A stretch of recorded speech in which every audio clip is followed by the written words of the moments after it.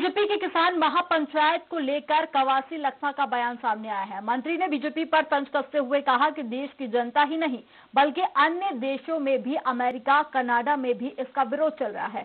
Bharatiya Janata party गूँगी और बहरी हो गई है, वह लोगों की नहीं सुन रही है, लेकिन छत्तीसगढ़ की जनता उनकी बातों में नहीं आने वाली है।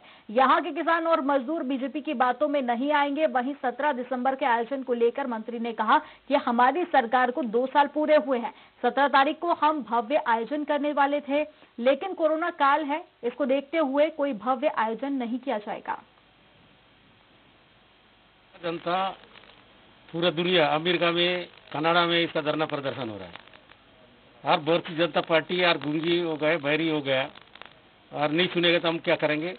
लेकिन छत्तीसगढ़ में भारतीय जनता पार्टी, आरएसएस के माध्यम से चलने वाला पार्टी है झूठ फैलाने माहिर है लेकिन छत्तीसगढ़ का जनता किसान मजदूर उसका बातों में नहीं आने वाला। भूपेश सरकार